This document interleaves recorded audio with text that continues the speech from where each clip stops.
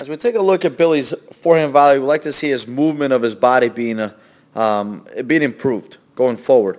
Now we see here, stepping into the ball, which is good, but we like to see him close up his stance a little bit more. We see a, a perfect line here through the center line. We like to see him on this one close his body a little bit more, taking the left foot.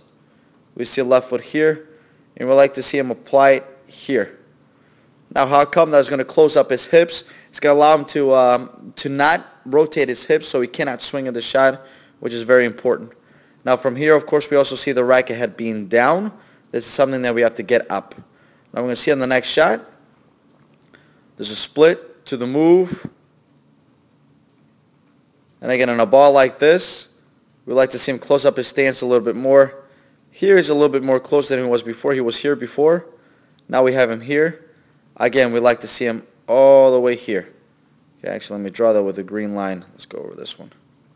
Just like that. Now from there, of course, let's, take, let's take a look at his upper body. Upper body is going to be hitting this shot, and he's going to be hitting from here. So it's almost behind him. A couple things to look at. Look at his head positioning right here. Okay, one thing that we want to see is uh, his eyes, of course, spotting the ball, which is very difficult to do when the ball's behind you.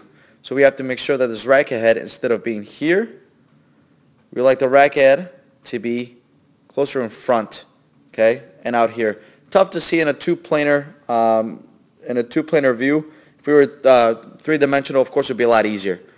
Going forward, we hit the shot. Racket head, as you see, again, comes down. Let's take a look. Oh, apologize. Let's take a look at the racket here. That comes down. Of course, it has to stay up. Take a look at one more. Go split. Here we go. Jams him up. He is going to have to use an open stance on this shot. Okay. Shot is hit, but we see the racket head and it goes it goes where? It goes back down.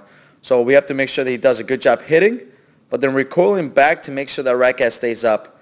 Okay, so don't mind the ball, but if we were to go forward, we'd like to see him go forward, just like he is, but then bringing it back, just like that. Again, forget that the ball's even there. So forward, and then instead of dropping the racket, bring it back up. Okay, and that's going to help him, of course, uh, maximize surface area, so on and so forth, as we talked about in the volleys before.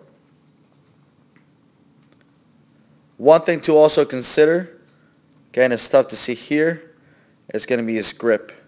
He's slightly off. He's not a full Eastern. He's, of course, not a full Conti. He's in between, so, of course, we have to get him to a, to a full Continental on the, on the volley.